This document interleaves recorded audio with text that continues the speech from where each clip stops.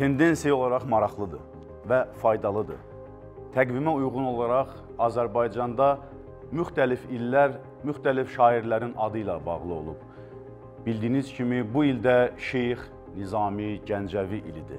Mən xatırlayıram 2019-cu ildə Nəsimi ili idi. Amma biz təəssüf Nəsimini təyinatı üzrə araşdırmadıq, oxumadıq. Biz Nəsimidən ancaq mahnı oxuduq.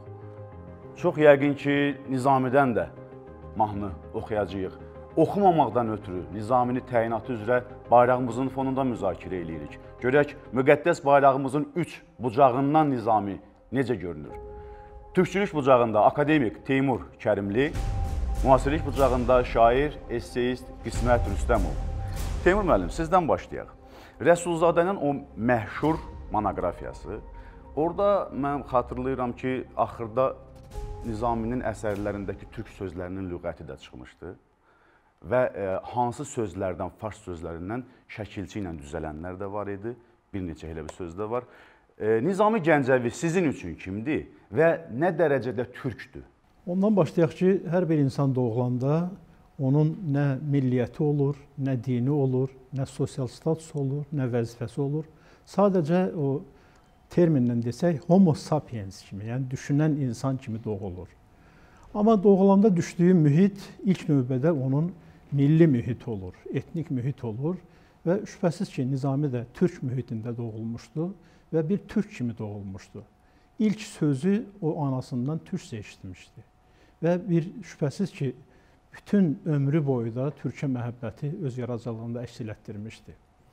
Nizaminin bayaq dediyiniz kimi e, Məmməd Əmin Rəsulzadə öz əsərində onun türklüyünü o qədər e, demək şübhəsiz detallarla, kəskin detallarla sübut eləyir ki, buna artıq inanmamaq, yəni yeri qalmır. Hətta monoqrafiyanın adı da məhz ona görə seçilib. Azərbaycan, Azərbaycan şairi. şairi Bəli, Azərbaycan şairi Nizami.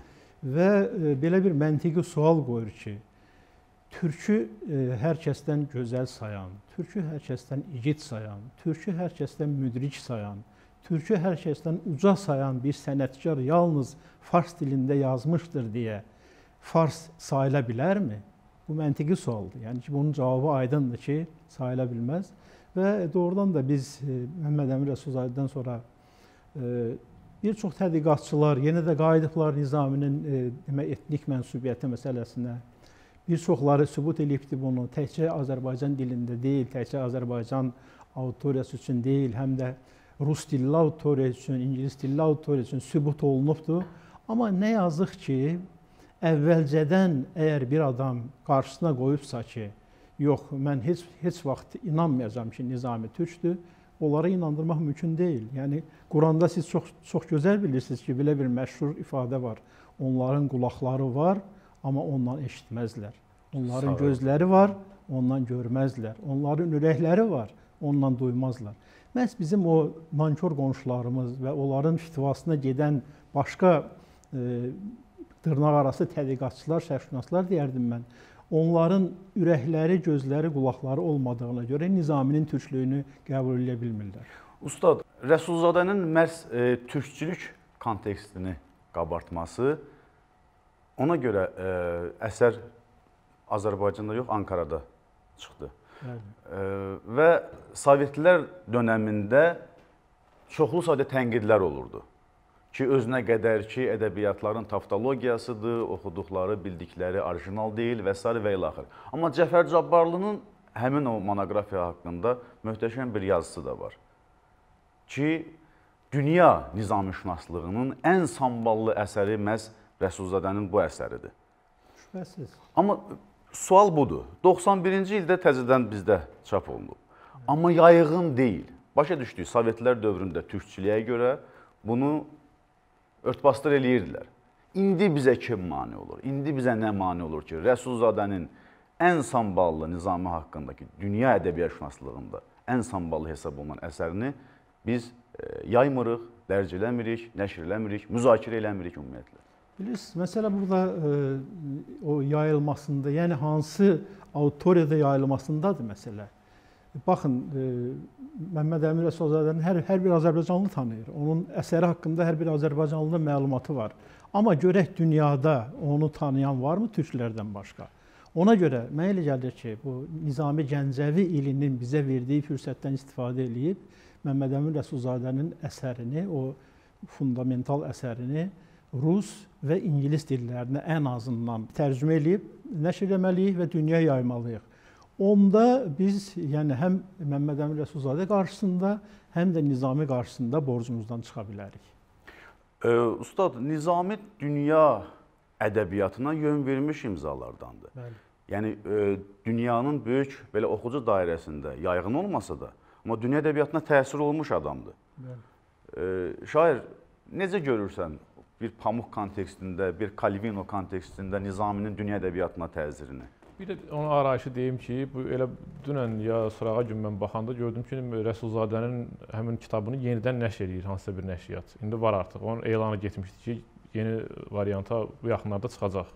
Yəni il e, münasibəti ilə yenidən dövriyyəyə qayıdır. Amma Teymur müəllim mən də razıyam ki, xarici dillərdə tərcüməsi üzərində ciddi düşünmək lazımdır. Qaldı dünya ədəbiyyatına münasibəti. Nizami zaten özü yazanda dün, dünyadakı bütün belə deyək də özünün oxuduğu məlum məşhur bütün sujetlərə, filosofların əsərlərinə münasibət bildirirdi və zaman keçdikcə də bir xeyli adam Nizamiyə nəzirə yazmağa başladı. Dəhləvi yazıb, Nəvai yazıb və s. Bir xeyli adam da indiki müasir dillə desək özünü Nizamiyə təq eləmək istəyib. Bir xeyli elə əsər də var ki, yəni onlar belə də adının onun yanında keçməsi üçün əsər yazır. Amma 20 əlbəttə ki 19 xüsusən 19-cu əsrdən Almaniyada bu şərq ədəbiyyatına olan ə, belə bir açılım, bir meyl oldu. Hafiz tərcümə olundu, Höte ondan təsirləndi, Şəqqəb divanını yazdı. Rükert Quranı tərcümə elədi, Nizaminin qəzəllərindən, əsərlərindən tərcümə elədi. Bir xeyli şairlərə təsir elədi bu motivlər. Və 20-ci əsrdə, məsələn mən 2015-ci ildə tərcümə eləmişdim onu görkəmli italyan yazıçısı Italo Calvino çox təsadüf nəticəsində mən əslində o esseni tapdım. Bir kitab idi, İstanbuldan almışdım, oxuyurdum. Klassikləri necə oxumalı. Onun özünün bir modeli var. Homerdən üzü başlayaraq ta Borxesə qədər klassiklər müəyyənləşdirir. Antik dövrdən üzü belə deyək, modern dövrə qədər. Və onun içərisində yəni belə mündəricatda adı belə keçirdi. 7 prenses türkçə belədim. Mən də bilmirdim ki, məsələn, niza yazılmayıb əvvəlində Nizami.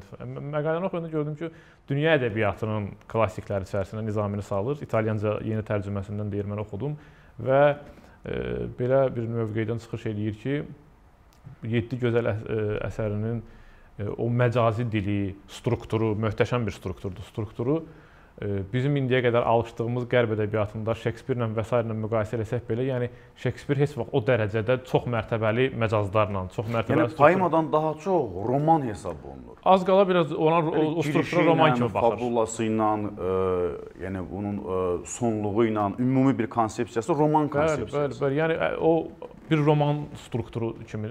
Nizaminin əsərlərinin hamısı elədir. Xosrov Bəşirin də o, ə, yəni onu sadəcə bir nəzm Sirlər xəzinəsi xaric digərlərindən Əslində mən indi ona da gəlmək istəyirəm ki, indiki müasir ədəbiyyatşünaslığın və romanın gəldiyi yerlə Sirlər xəzinəsini də mən indi deyəcəm ki, o da bir belə deyək, bir eksperimental roman formatı var onda. İndiki yazılan romanlara baxanda, hə. Bax, e, bizim dostumuz Doğru. Seyfəddin Hüseynlinin də tərcümə elədiyi bir e, e, ingilis yazısı var. Biraz frankofon yazısıdır, yəni Fransaya meylli yazısıdır. E, Julian Barnes Booker mükafatı alıb Aqibət duyğusu romanı. Aqibət o Julian. Barnes'ın bundan ondan başqa bir məşhur romanı var. 10.5 hissədə dünya tarixi. Romanın formatı bax indi deyim, yox hansı formata oxşuyur. Roman e, deməli bir tarix kitabı kimi yazılıb. Necə tarix kitabını asıb oxumuruq. Birinci qədim dövr, sonra orta əsrlər dövrü. Roman da belədir. Birinci Adəm-Həvva əhvalatına bir parodiyadır. Sonra nə orta əsrlərdəki bir əhvalata parodiyadır. Heç bir əhvalatın heç birindən dəxli yoxdur. Hamısı müstəqil hekayələri roman kimi verib. Sirlər xəzinəsi odur da, elə məqalələr də ayrı-ayrı, əhvalatlar da ayrı. Onu bir dənə e, çətirin altında birləşdirir. Elə deyil? Yəni Doğru. çağdaş dövrün o belə deyək, sərhədsiz roman anlayışları ilə baxanda onu da e, hansısa bir e, məntiqlə mənzum romanın biraz eksperimental forması kimi hesab eləmək olar. Yəni təbii bunlar biraz belə şərti. Yox, istənilən mətni istənilən e, formaya oxşatmaq olar, amma klassik e, yəni e, romançılıqdan danışırıqsa, demək olar ki, Nizami Şərqin ilk romansıdır. Hətta Xosrov Bəşirin məsələn Orxan Pamuka çox ciddi təsir eləyib. Mənim adım Qırmızı romanını yazdığı qeydlərdə də bundan danışır. O surətə aşiq olmaq falan məsələsi və miniatür rəssamlıq məsələsi. Xosrov Bəşirin yəni ümumiyyətlə o mövzulara girən bir xeyli romantikaya təsir eləyib. Sonra Calvino vasitəsilə Umberto Eco'nun Nizamidən xəbər olduğunu bilirik. Çünki o mövzuları Calvino belə deyək də çox maraqlanırdı falan edirdi. Onların məktublaşmalarında var bu. İskəndər Palan romanı. İskəndər Palan Türkiyədə bəli, İskəndər Palan romanı. Yəni o Nizami e, elə bir e, aləm yaradıb ki, bir balaca ona bir qətrə ondan dadan adam ecazından çıxa bilmir. Bu istəyir bir İtaliyada yaşayan bir ədəbiyyatçı olsun, istəyir 19-cu əsrdə Almaniyada yaşayan bir adam olsun, istəyir bizim qardaş Türkiyədə olsun. Yəni çox təsirləri çoxdur. Bu, bu sıra ilə biz saya bilərik. Hələ biz indi məsələn romanslardan danışırıq. Nə qədər şairlərə təsir edib dünyada? Ha, deməli, e, Nizaminin mən indi e, ağlıma gəldi. Ən az absurddur. Həm də paradoks var. Təsir elədiyi Azərbaycan şair yazıçılarıdır. Əslində bu da tərcümə ilə bağlıdır. Teymur müəllim, Sovetlər dövründə təqdim olunan Nizami nə dərəcədə orijinal Nizamidir? 80%, 80% orijinaldır. Yəni ki, çox adam bilirsiniz, bəzən biz bir şey eşidirik ki, hə Nizamini yaxşı tərcümə eləməyiblər. Oradan tutaq ki, dinə aid hissələri çıxardıblar. Belə şey yoxdur. Nizamini demək 800 illik o demək tədbirlər çərçivəsində bütün əsərləri həm Azərbaycan, həm rus dilinə sətri tərcümə olunubdu və mən o sətri tərcümələrlə tanışam. Çox dəqiq tərcümələrdir. Yəni o vaxt 40-cı illərdə çox məhsul yanaşırdılar. Yəni birbaşa Stalinin əmri idi ki, bunu eləyin və ondan ondan kənara çıxa bilməzlər. Və o tərcümələr demək olar ki, adekvatdır. Bəzi ola bilsin ki, səhvlər var, bəzi qüsurlar var. Amma filoloji o, tərcümədə adekvatdır, bəli. amma poetik tərcümədən danışırıqsa, poetik tərcümələr mən Nizaminin məsələn elə Sirlər xəzinəsini filoloji tərcümədə oxuyanda və poetik baxanda, yəni mən yeni bir Nizami ilə, həqiqi Nizami ilə tanış oldum filoloji tərcümədə. Həmin o kəsirlər deyirsiniz, yoxdur, amma var idi. Həmin o 80% orijinaldır deyirsiniz. Amma Nizaminin bəlkə də şair həqiqəti həmin o itmiş 20%də gizlənib. Bilirsiniz, e, əslində tərcümə yəqin e, qismət müəllim də məndən razılaşar. Tərcümə e, mümkün olan bir şey deyil. Yəni ki, bir dildən e, xüsusilə başqa sistemli dillərdən tərcümə Razıyam mən. Xüsusilə şeirin xüsusilə poetik tərcümə mümkün olan bir şey deyil. Yəni fars dilindən Azərbaycan dilinə biraz yaxın da hələ bunlar. E, və bu tərcümə eləyən adam o qədər istedadlı olmalıdır ki, e, demək öz e, orada öz orijinallığını kənara qoyub tərcümə elədiyi əsərin orijinallığına e, uysun. Yəni bu baxımdan mən deyərdim ki, Nizaminin bəxti gətirib.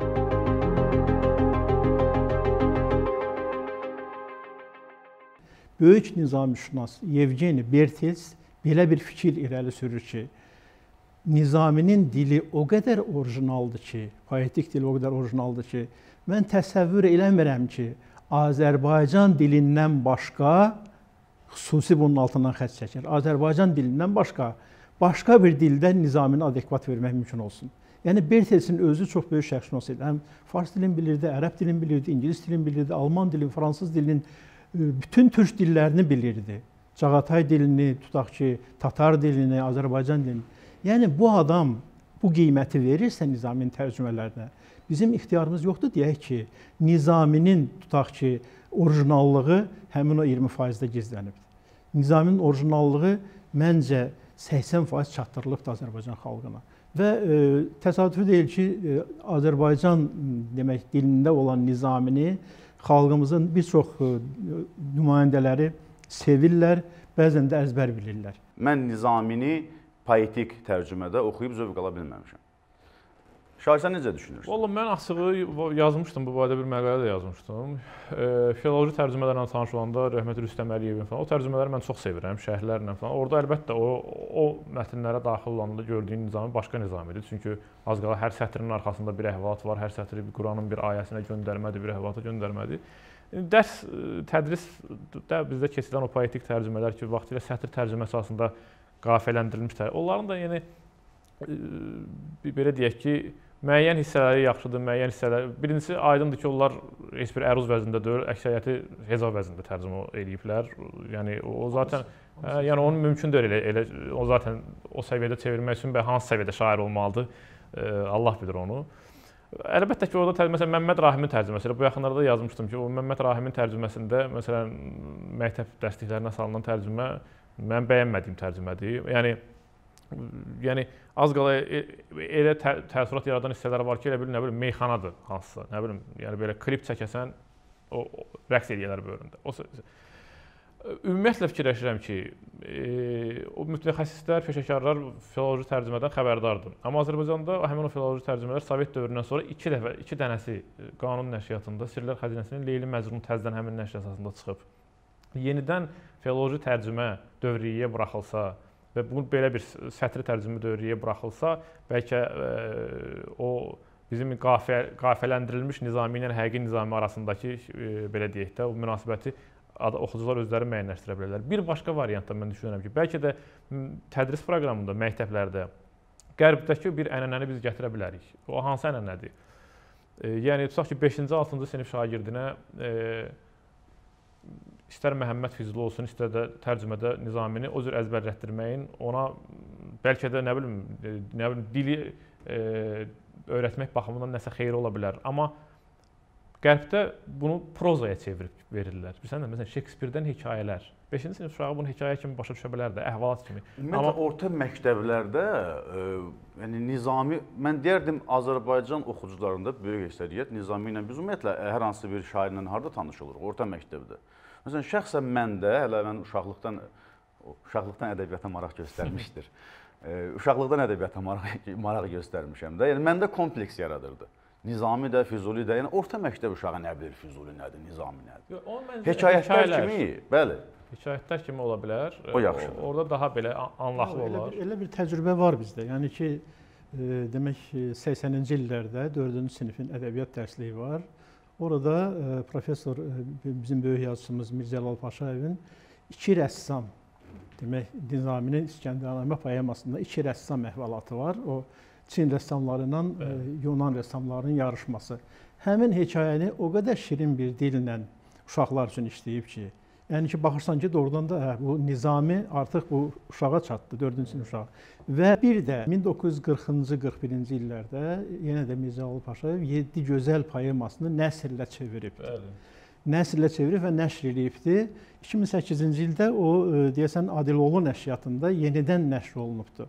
Yəni bu təcrübə var və bunu məncə e, bundan istifadə etmək lazımdır. O biri poemalarda, o biri poemalarda yaxşı bir nasir onu nəsrindən çevirib e, çatdırmalıdır xalqımıza. Mən 100% razıdır. Dəqiq əladır, əla təcrübədir o. Bilirsən bu təcrübə ilə e, o aradakı o informasiya mübadiləsində itki daha az olur da, çatır, anlaşılır və bütün qafiyyənin əsiri olmursan da sən. Hə, yəni o bir bilirsən belə məsələn Məmməd belə Məmməd Rahimin falan tərcümələrindən belə olurdu. Az qala o məktəbdə divarlara, datlara hər yerə vururlar. E. Bufetə gedirsən, bufetdə bir dənə bir misra var. Nə bilim, o rəsm otağına gedirsən bir misra. Nə, nə bilim, tutaq ki, çalış yeməyinə biraz fikir ver. Vallah bir şey deyil, dönər hamburger. Belə də uyduraq mənə. Məsələn, belə bu bununla nizami öyrətmək olmaz axı.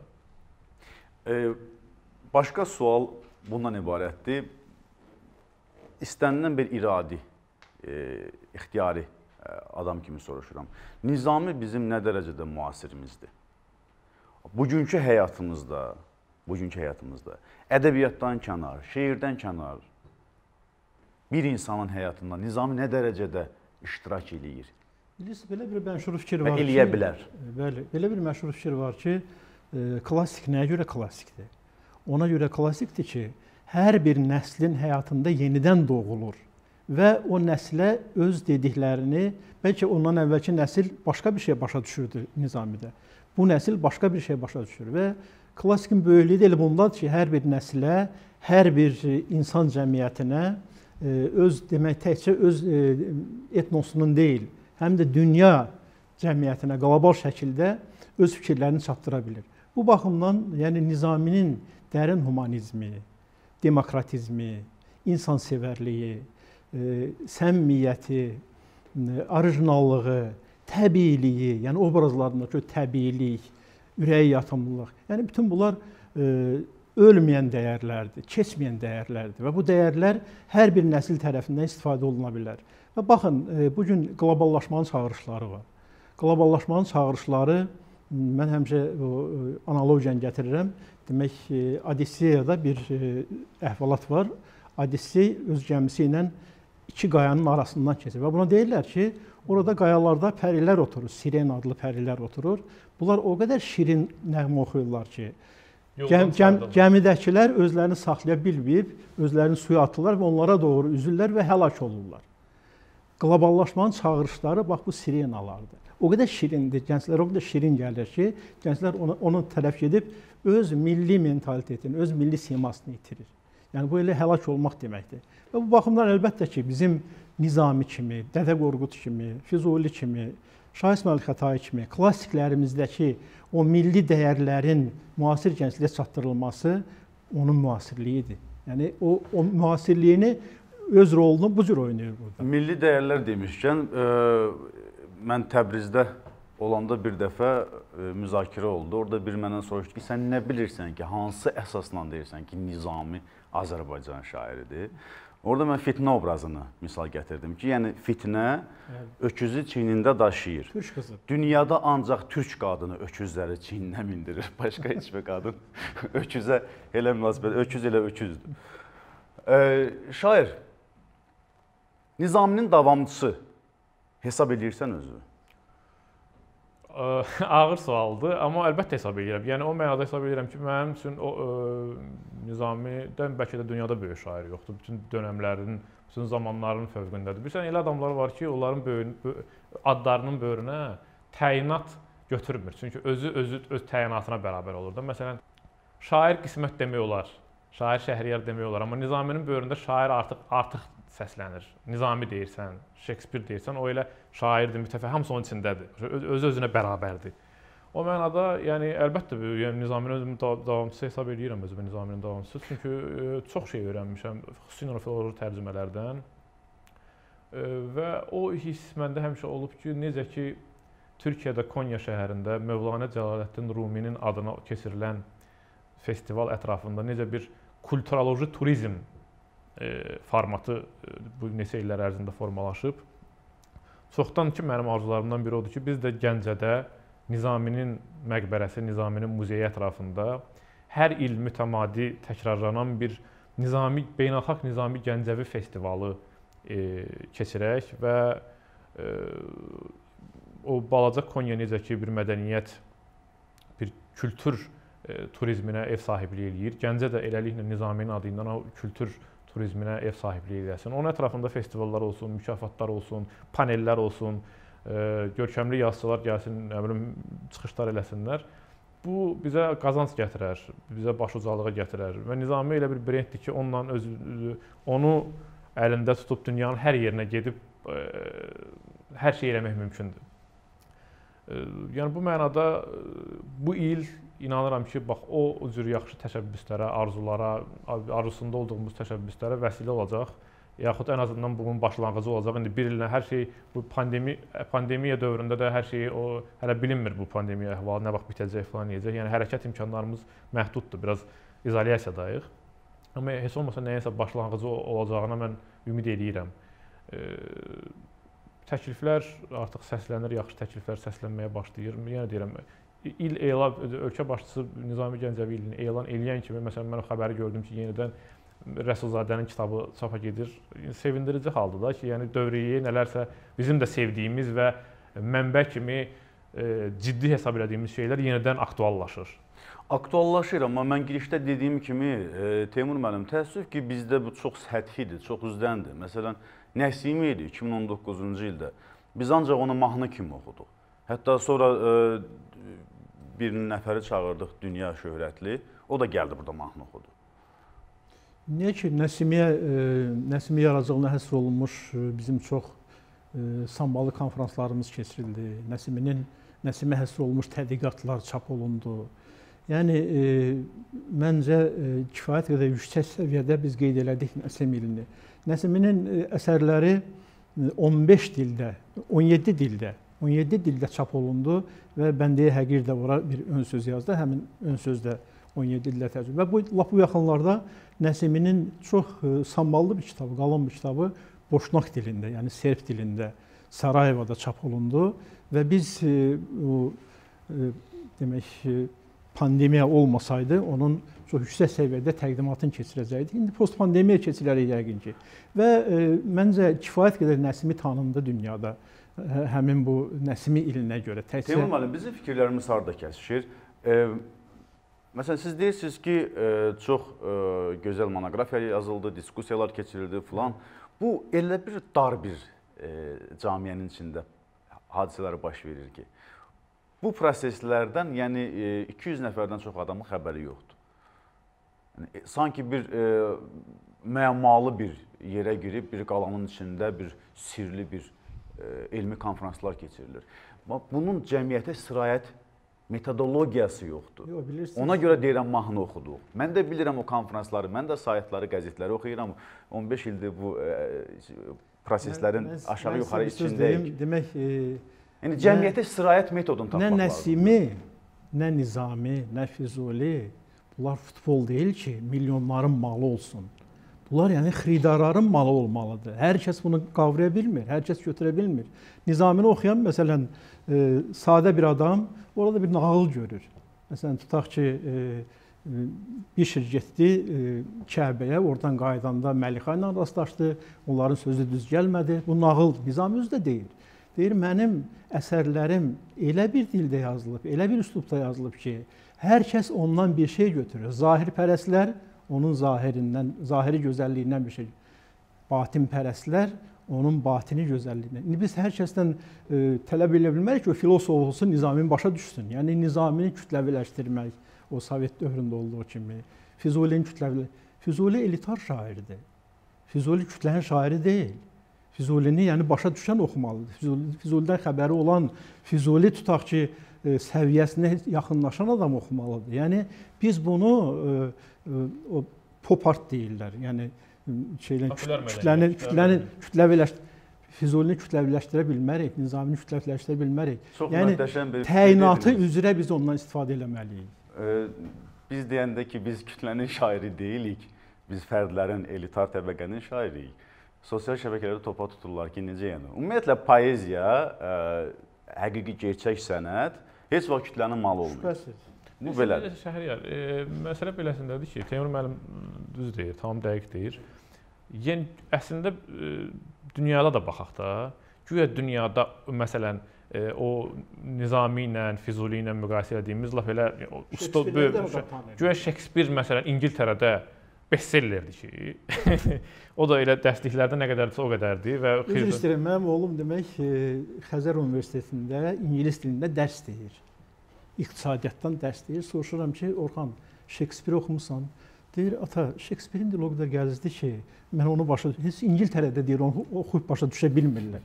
Yəni sizin dediyiniz deyir, Şekspir sadəcə ingilisin elitar təbəqəsi üçündür. Kütlə üçün deyil bu. Bu Dostoyevski yoxsa Tolstoy bölgüsü olmasın. Amma səmimiyyətə qalsa mən Azərbaycan poeziyasını fərd olaraq, yəni ə, bir oxucu olaraq Azərbaycan poeziyasının başlanğıcını Füzulidən hesab edirəm. Ona görə yox ki, Nizaminin türkcə bir qəzəli yox idi. Kaş ki olaydı. Kaş bir 5 e, türkcə qəzəli yazıydı. Biz onu orijinaldan tam öz nəfəsi ilə oxuya bilərdik. 2021-ci il artıq Qarabağlı bütöv bir Azərbaycandayıq və bütöv bir Azərbaycana yaraşan Nizamini təkcə mahnı kimi yox, təkcə sənsiz romansı ilə yox, həm də bir şair kimi, bir şeyx kimi, dünya poeziyasının ən ciddi nümunəsi kimi, nümayəndəsi kimi oxumaq, araşdırmaq bizim boynumuzun borcudur. Biz burada müxtəlif suallar ətrafında nizamını müzakirə etdik. Amma siz öz cavabınızı özünüz tapın. Burada verilən cavablar yanlış ola bilər. Həqiqət suallarda gizlənib. Özünüzə yaxşı baxın. Elə bizə də.